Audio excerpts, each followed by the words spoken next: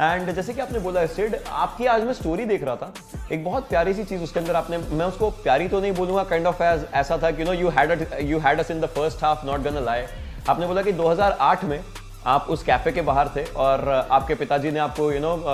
थोड़ा पीटा था जब आप वहाँ पर गेमिंग वगैरह कर रहे हो। और आज उसी जगह पर लोग आपसे फ़ोटोज़ खिंचवाने आए थे। फ्यूचर देखिए किसी को पता नहीं होता कि आगे जा करके इंसान क्या करेगा क्या नहीं बट वो फीलिंग मैं जानना चाहता हूँ जब आप वो चीज़ टाइप कर रहे थे या फिर जब आपको पता चला कि वहाँ पर ही जाकर के आज शूट है उसके आसपास है तो वो फीलिंग कैसी थी? आई I मीन mean, वो स्टोरी से आई गेस लोगों को थोड़ा बहुत एक हिंट मिल गया होगा कि what that shoot is about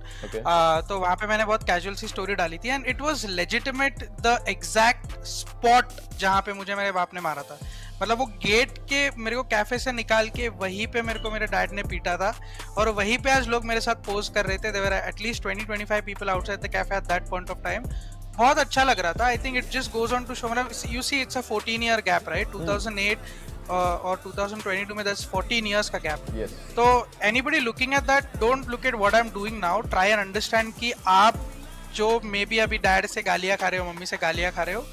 14 years down the line you can still make it that is i think the point of the story yeah. if you have passion and if you have drive uh, the the amount of time it takes does not matter you can make it when you're 50 or 60 when you're 70 it doesn't matter as long as you give in your effort तो I know बहुत मेरा audience जो है मैं मानता हूँ कि बहुत वो वाले एज ग्रुप में 15 16 14 साल की उम्र में तो अगर आप लोग देख रहे हो तो है आपके पास बहुत टाइम है टू मेक इट तो डोंट वरी अगर एक दो फेलियर्स आते हैं लाइफ